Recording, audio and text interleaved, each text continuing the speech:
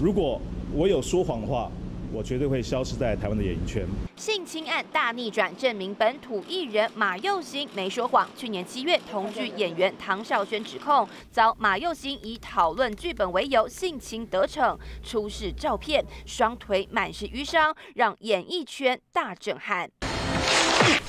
更让剧中饰演反派的马佑兴形象大崩落，整整八个月来一个通告都没有，损失将近上亿元。攻击的言论不单单只是攻击我，攻击到我的家人、我的小孩。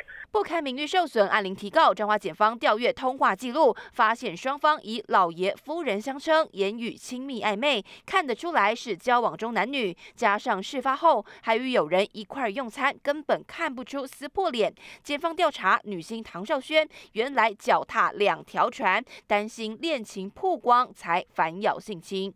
那为了保全自己的跟当时交往对象的情谊，那。是称捏称哈，他被性侵害。在等司法黄回公正，我也希望说司法黄回公正之后，能够让社会大众知道，能够让呃我的孩子、我家人知道，说我并没有做这些事情。